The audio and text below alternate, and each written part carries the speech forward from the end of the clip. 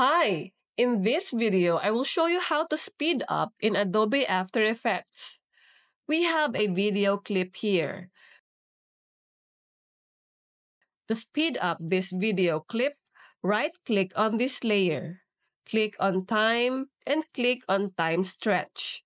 And adjust the stretch factor here. The lower the figure, the speeder the video clip will be.